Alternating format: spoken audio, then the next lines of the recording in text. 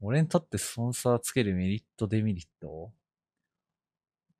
パソコンとかはだから分かりやすいよね。本当は俺、あんまり、その配信周りの機器系のスポンサーは基本つけたくないんだけど、パ、パソコンは、結構パソコンで悩む人いるじゃん。だからまあ、自分が作ったモデルがあったら、それがもうイコールおすすめだから分かりやすいんだよね。でもなんか、マウスとかキーボードみたいな感じになってくると、なんかこれはこれで、これはこっちの会社で、あれはこっちの会社みたいな感じだから、なんかまたそれもなーって感じ。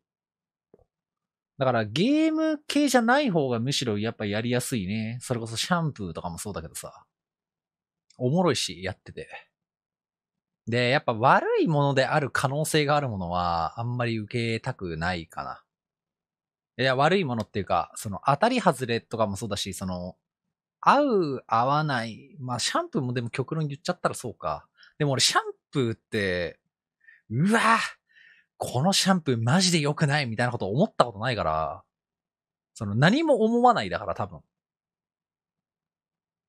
その悪い、悪い系のものって。